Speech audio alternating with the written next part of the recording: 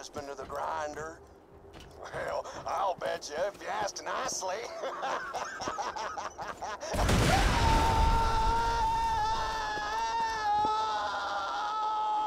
Now, let's try that with the shield on.